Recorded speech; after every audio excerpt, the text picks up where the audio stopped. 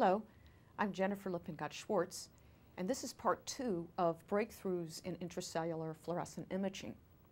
In this section, I'd like to talk about two techniques that have huge potential for allowing further insights using fluorescent protein technology for looking at events happening within cells as well as whole organisms. These two new applications include photobleaching and photoactivation.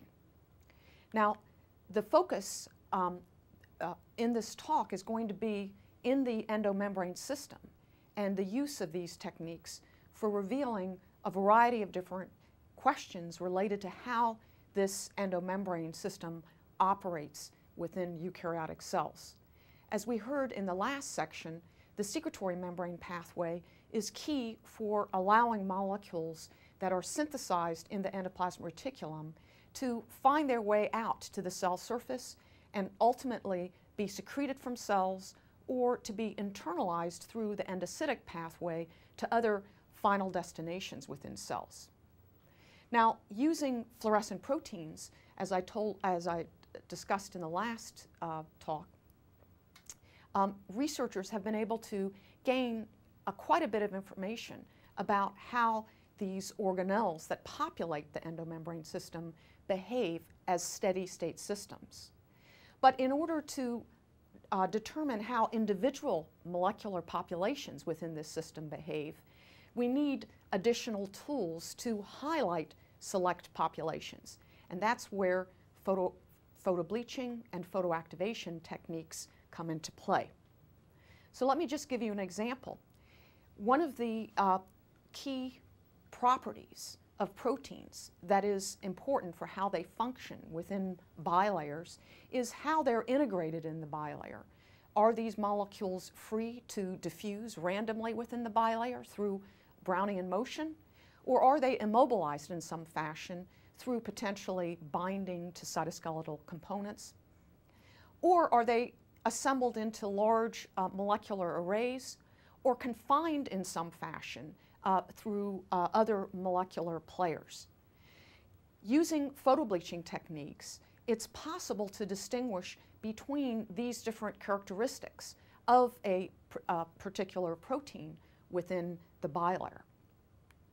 So this uh, photobleaching technology involves the um, illumination with intense, uh, light, uh, intense light source of a particular area of the cell that's expressing a fluorescent protein.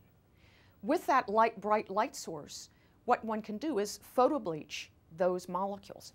Now, photobleaching is a property whereby a fluorophore is, is quenched. It can no longer emit fluorescence. And that is simply a result of the intense radiation causing the fluorophore to change its molecular conformation.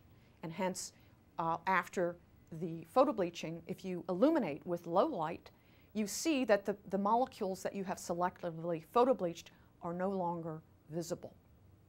Now, if you selectively photobleach just a small area of the cell, what one can then do is image the cell with the low light irradiation and look to see whether molecules that have not been photobleached exchanged with the photobleached pool, such that over time the molecules now mix and you see a recovery process so that now the photobleached area is uh, recovered and is, is bright.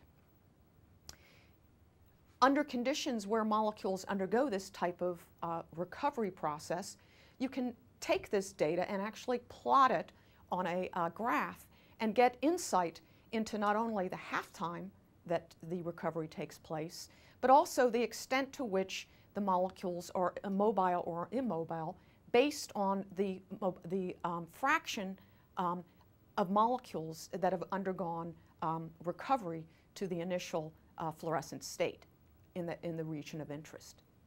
So this type of fluorescence recovery after photobleaching experiment called FRAP can be used to get lots of insights into different uh, molecular uh, organelles and sites within the cell. So let's look at how photobleaching has provided new insights into the dynamics of proteins that reside within organelles. This is a, uh, a photobleaching experiment of the Golgi apparatus, which serves as a central processing station within the secretory pathway. Now, what you're looking at are Golgi enzymes that have been tagged with GFP and expressed within a cell. And what is labeled is this beautiful Golgi ribbon, which we're going to be, which we're photobleaching across um, the center of. And what you can see in each of these photobleaching sequences is that the molecules very quickly recover into the photobleached region. What this indicates is that the enzymes that comprise the Golgi apparatus and are playing pivotal roles in modifying proteins that move through the secretory pathway. These enzymes are highly mobile within this organelle. Now this has an important implication for how proteins are retained within the Golgi apparatus. What this data is telling us is that the mechanism of retention of these enzymes is not related to them being immobilized uh, through interactions, tight interactions with other proteins within the cell. Rather, there must be some other basic mechanism that's retaining these molecules within this organelle in the face of secretory flux out of the Golgi onto the plasma membrane, which is characteristic of secretory cargo molecules. So these are, this is the behavior of Golgi enzymes within the Golgi apparatus. What about the endoplasmic reticulum and its associated nuclear envelope? As you can see from this photobleaching experiment, the proteins that reside within the endoplasmic reticulum are highly mobile, just as the molecules are within the Golgi apparatus. If, when you photobleach a select region within the endoplasmic reticulum, you can see very quick recovery. By contrast, when you look at the photobleaching recovery of molecules associated with the nuclear envelope, and in this case we're looking at the lamin B receptor, which is thought to help anchor the nuclear envelope to chromatin, what one sees is that these molecules are immobile uh, within the nuclear envelope. Most of these proteins are not freely diffusing. And it's this difference between the behavior of molecules on the nuclear envelope versus the ER that we think plays a fundamental role in the mechanism by which the nuclear envelope is able to form itself out of the endoplasmic reticulum in a dynamic process that allows for disassembly and reassembly during mitosis. Now let's move on to the plasma membrane where there's been a lot of excitement about the diffusional characteristics of proteins on this surface because the plasma membrane is what's facing the exterior of the cell and contains thousands of different types of receptors that are involved in signal transduction processes and how those individual molecules respond um, to, to uh, activating cues uh, in the membrane bilayer has been a focus of many, many different studies. Now here's a photobleaching experiment of a GFP tagged KRAS, which is one of these uh, small GTP binding proteins that's involved in orchestrating signaling at the plasma membrane. And what you can see is that within 10 seconds, this lipid anchored GTPase, KRAS, completely recovers into a photobleach box of about 10 microns in diameter and about 2 microns in um, width. What this indicates is that this molecule is uh, very uh, continuously exploring the entire surface of the plasma membrane on a very rapid time frame. Now, we and others have used photobleaching to look at the behavior of many other plasma membrane associated proteins and some of these molecules are just illustrated here and what you can see is that some of these proteins are full transmembrane uh, embedded in the bilayer and others are just lipid anchored. And using photobleaching techniques, we and others have been able to define the diffusion coefficients of these molecules, uh, been able to show that uh, these different proteins have different types of diffusion coefficients largely dictated by how they're integrated into the membrane bilayer. Importantly, many of these molecules change their diffusion coefficient in response to signaling cues, where the molecules undergo um, uh, clustering, aggregation, or uh, interaction with cytoskeletal elements that allow the molecules to move quickly in a directed fashion along the bilayer. Now, a whole different type of application of photo bleaching that I now want to briefly focus on is that which allows one to unravel a steady state distribution of proteins within the cell. What you're looking at in this image right here is the distribution of a protein um, called GPI-GFP. It's sim simply a GFP molecule that's anchored to the plasma membrane or to membranes through a GPI anchor. What this protein does is distribute primarily on the plasma membrane of cells, but you can see that there's also a juxtanuclear pool of this GPI anchored protein, which we know is localized in the Golgi apparatus. Now, if you were just looking under the microscope over time at mo this molecule, all you would see were these two different pools of um, uh, populations of the molecule, the Golgi pool and the, the vastly larger plasma membrane pool. What you could not determine from these steady state observations is to what extent are these two pools of GFP, GPI exchanging with each other? Are these molecules just stably or statically localized within these two different compartments within the cell, the Golgi and plasma membrane? Or are they in some way exchanging through intracellular transport trafficking pathways? Well, one way to distinguish between these two possibilities is to employ photobleaching to selectively remove fluorescence uh, in one particular pool, as shown right here in this movie sequence. What we've just done is photobleached this small area of the cell where the GPI-GFP is localized in the Golgi apparatus. And we're going to ask whether that pool can recover over time. Now, because these cells have been treated with cycloheximide to block new protein synthesis, new, the reappearance of a signal in this bleached area could only be a result of transport of the molecules from the surrounding plasma membrane into the Golgi apparatus. This cell down here has been completely pho photobleached, and hence you see no recovery because the cells have been incubated with this drug, cycloheximide, that blocks new protein synthesis. Now, this recovery of the GPI molecules into the Golgi apparatus defines a intracellular trafficking pathway from plasma membrane to Golgi apparatus. And you can get insights into that pathway by quantifying the rate at which the exchange occurs. And that's shown right here in this little graph. Now, because we have quantitative information on the number of GFP molecules that are on the plasma membrane versus in the Golgi apparatus, prior to and after that photoactivation, you can, you can fit a very simple model of trafficking of these GPI anchored proteins between the Golgi and plasma membrane by simply fitting this curve to a very simple two, two-step uh, compartmental exchange process.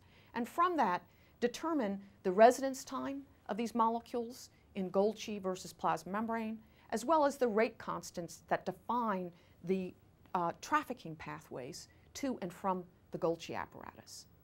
All of this information you can get simply by taking these images um, and quantifying them in a rigorous way. Now, it turns out that when you apply this type of photobleaching to look at other molecules that are associated with the Golgi apparatus, and these include the resident enzymes that define the Golgi, uh, the uh, itinerant trafficking molecules that are cycling through the Golgi, what you find is that all of these molecules are undergoing a dynamic exchange in and out of the Golgi apparatus. In the case of the Golgi enzymes, they seem to be slowly cycling from the Golgi back into the endoplasmic reticulum and then back into the Golgi again. This next movie sequence just shows how dynamic cytosolic coat protein association with the Golgi is. What you're looking at is the association of a GFP tagged epsilon COP subunit, which is one of the subunits of the coatomer complex called COP1 that's thought to be uh, playing a very important role in the formation of uh, uh, vesicle trafficking intermediates that operate within the Golgi. And what you can see uh, in this time-lapse sequence is that these molecules uh, are constantly binding and dissociating to Golgi membranes as these uh, membranes are engaged in this membrane trafficking system.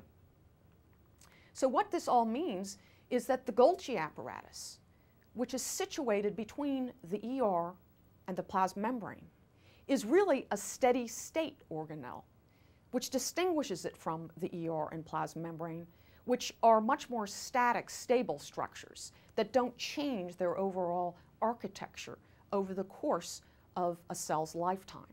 The Golgi apparatus, because all of its components are cycling in and out of it, either through the plasma membrane and back or through the ER and back, has the capacity to undergo shape changes dramatically and respond to the extent of signaling and uh, movement through the secretory pathway.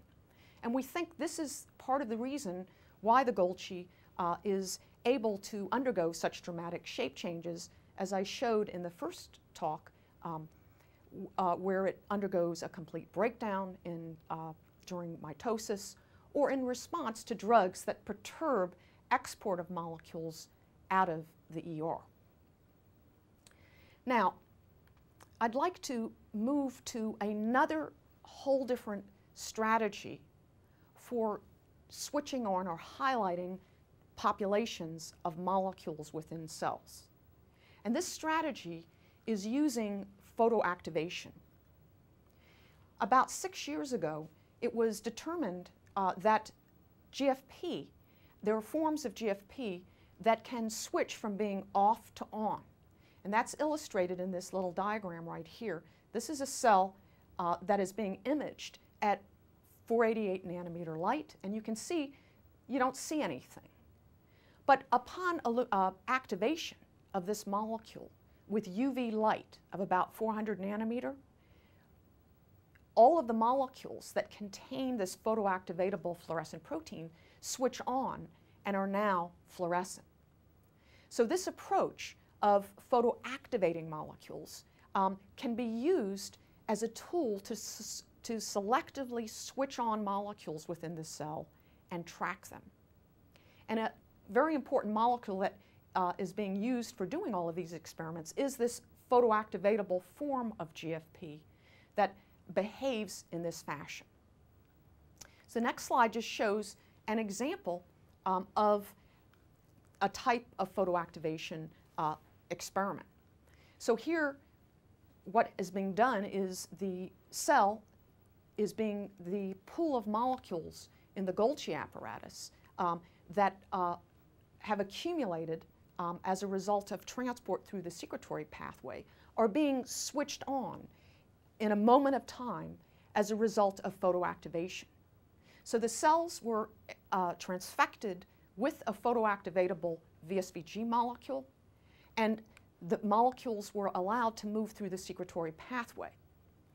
To visualize the pool of these molecules in the Golgi apparatus, the researchers selectively switched on the molecules associated with the Golgi apparatus. And these black structures right here represent switched on highlighted molecules. And you can see them flow out of the Golgi apparatus as part of the secretory uh, system.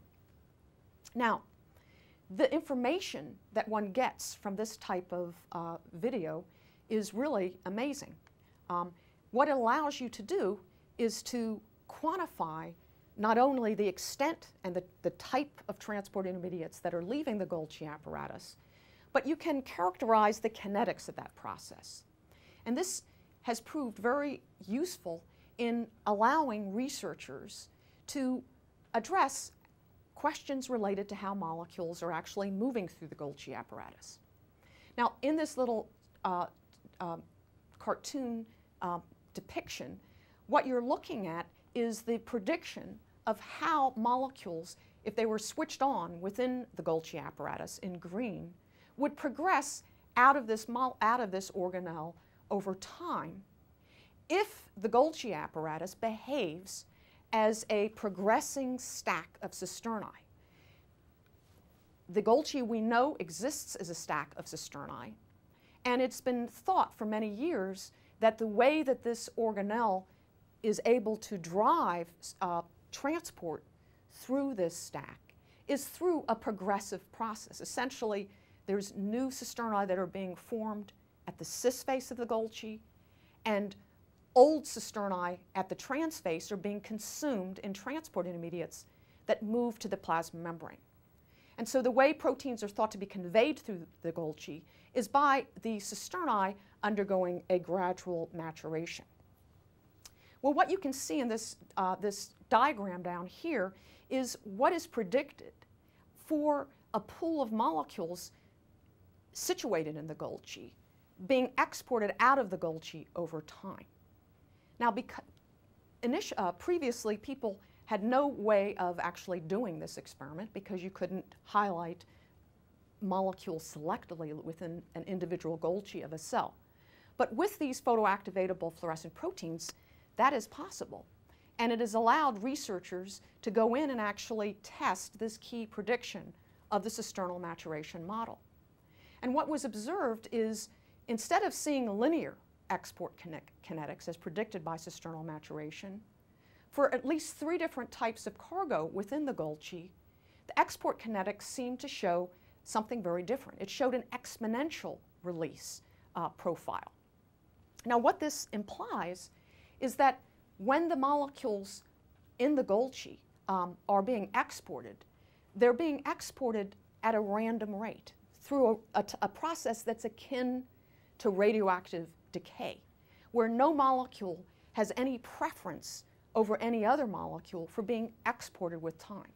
As you can see in this little diagram right here, what we're seeing using photoactivation techniques and photo hi and highlighting techniques is that the molecules seem to be exponentially released from this organelle in a process that we think probably involves some type of rapid mixing and then export from multiple sites within this structure. Now, how could sorting occur within the Golgi if this type of, this type of mechanism was operating? And again, GFP imaging techniques are providing some clues. And one particular clue is seen in this little movie here where we're looking at the behavior of a cargo protein passing through the Golgi apparatus at the same time as an enzyme that's retained within the Golgi apparatus. And what you see in this movie is that as soon as the cargo, which is primarily yellow in this movie, arrives at the Golgi apparatus, it's very quickly partitioning to areas that are depleted of areas where the enzymes that are primarily enriched in blue in this movie are localized. So this suggests that within the Golgi apparatus, these proteins are undergoing a type of mass uh, membrane partitioning to particular areas of this organelle. And that has led to the following uh, view of how the uh, Golgi apparatus might be functioning. Um, and the idea would be that proteins that are ferried into the Golgi apparatus are sorting within the Golgi apparatus based on a type of membrane affinity whereby proteins that have affinity for sphingolipids and cholesterol, which populate primarily the Golgi and the plasma membrane, move to areas where these cholesterol and sphingolipids are enriched in this structure and hence get carried out of the Golgi apparatus in vesicles that move to the plasma membrane. Molecules that prefer to be in an environment that's primarily enriched in sphingolipids, uh, phosphoglycerides, which are much thinner, uh, that form much thinner bilayers, instead are retained within the Golgi apparatus and engage in a cycling back into the endoplasmic reticulum and hence are not carried with cargo out of the Golgi apparatus onto the plasma membrane. Now this is a speculative model at this point, uh, and deserves much greater uh, investigation, but it illustrates well, I think, how using these new tools of photoactivation and imaging can provide potentially new information about the way organelles like the Golgi apparatus are operating during secretory trafficking. Now I want to just give one other example of how photoactivation uh, can be used to get new insights into dynamics of organelles. And in this example, we're going to be looking at peroxisome biogenesis. Now, peroxisomes are interesting organelles because they have their own ability to import proteins. And as you can see, these, little, these are hundreds of small little structures scattered throughout the cytoplasm. In green here are individual peroxisomes that are being imaged. For years, people have wondered where these organelles come from. Are they formed de novo, or is some other organelle playing an important role in their formation?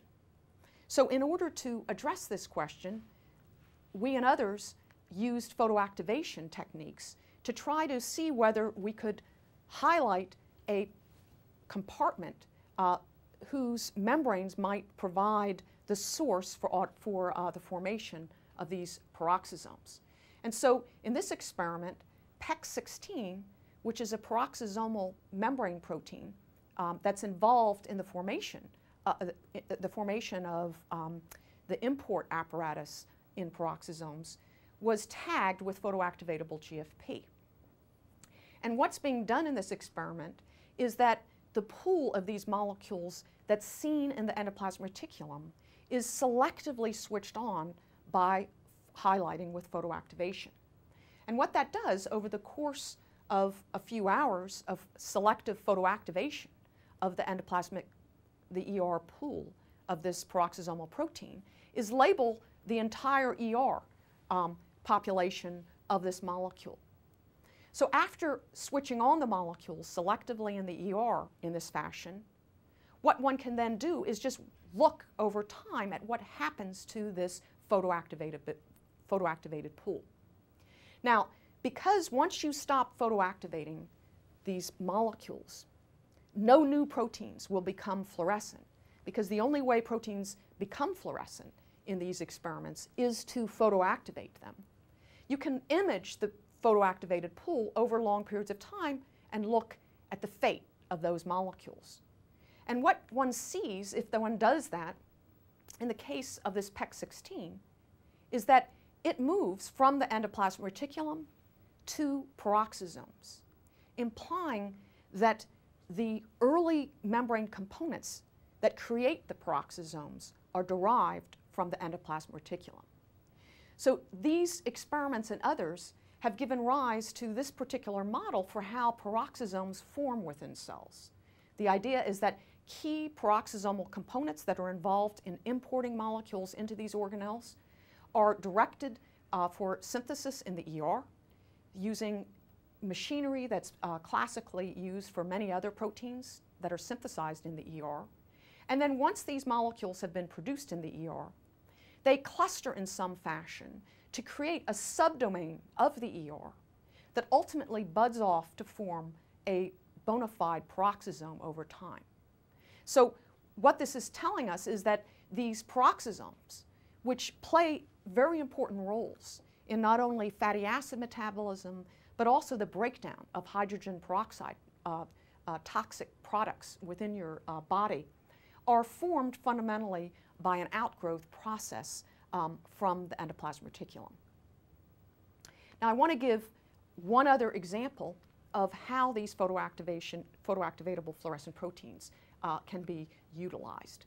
I mentioned that once you photoactivate a protein population within cells. It's only those molecules that are visible. So any newly synthesized protein within the cell that is not photoactivated will not be visible. As a consequence of that, you can switch on all of the molecules of a protein of interest that are tagged with the photoactivatable fluorescent protein, and then subsequently image it over time because no new proteins will be switched on, during this period because you, you're only doing one photoactivation event. You can now look at the turnover of this population of molecules. And this is illustrated here in this uh, example right here for the CD3 delta subunit of the T cell antigen receptor, which is known to have a very short half-life in cells where it's expressed as an orphan receptor subunit. So in these cells, we've switched on the CD3 delta tagged with photoactivatable GFP at time zero, and then looked at the fate of this molecule over time. And within six hours, you can see there's no molecule left within the cell. And that uh, fits this is a biochemical uh, metabolic chase experiment to verify that all of these molecules are being destroyed during this process. Now, this is a, a useful technique because not only does it allow you to monitor the time course by which molecules are degraded, and in this case, the CD3 delta we know is being degraded by retrotranslocation of the protein out of the ER into the cytoplasm and destruction by the proteasome. Now, in addition to just looking at this turnover process, you can use what's known about these degradative pathways to probe the characteristics of that pathway. For instance, to block proteasome activity and to look at how these molecules distribute in response to not being broken down. And in the case of the CD3 delta subunit, when we inhibit the proteasome, we've seen large aggregates form in response to the uh, inability of these molecules to be degraded within cells. Now, another type of uh, strategy that you can do to look at turnover is to look at turnover not only of proteins, but to look at turnover of whole organelles. And I just want to, in my ending uh, uh, sort of vignette, show an example of this for aut autophagosomes. So autophagosomes form in response to starvation. And this is just showing how you build up these small little uh, particular structures in the cytoplasm in response to starvation. We're labeling these structures with a, with a uh, GFP tagged marker, LC3, that labels specifically autophagosomal membranes. Now, once these autophagosomes form, they then move in a very directed fashion to lysosomes for destruction. Now, this a, plays a key role in cell survival because the autophagosomal membrane initiates as a cup-like structure that can then engulf portions of the cytoplasm, which it then envelops and delivers to the lysosome for destruction as a consequence of the hydrolytic enzymes found within the lysosome. And this is just, this movie here is just illustrating how you can visualize this fusion of the autophagosome with lysosomes. But with the photoactivatable fluorescent proteins, we can now ask how long does it take for these autophagosomes uh, to fuse with lysosomes? Uh, what is the lifetime of an autophagosome within the cell? And this is shown in this little movie sequence here, where now this key autophagosomal marker, LC3, is tagged with a photoactivatable form of GFP. And right now you don't see any molecules because we haven't switched them on, but upon photoactivating the entire cellular population, you can then see these molecules within autophagosomes and then track how the autophagosomes disappear over time. And this movie sequence reveals that the, half the average half-time for an autophagosome life in a starved cell is only about 18 minutes. So you'd never be able to determine this just looking using a GFP probe uh, because molecules are being synthesized at the same rate as these molecules are being degraded.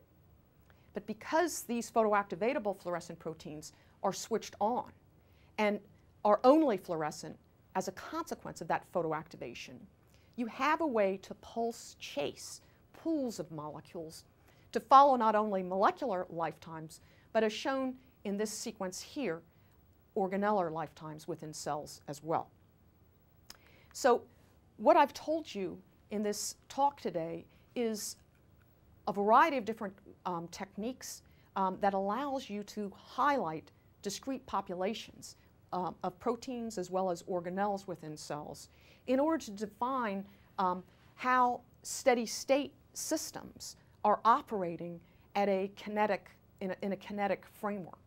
Um, what I'm going to do in the next talk is to provide another type of application uh, using these photoactivatable fluorescent proteins to now look at super resolution at how individual molecules behave within cells instead of large populations of proteins as we have looked at until now.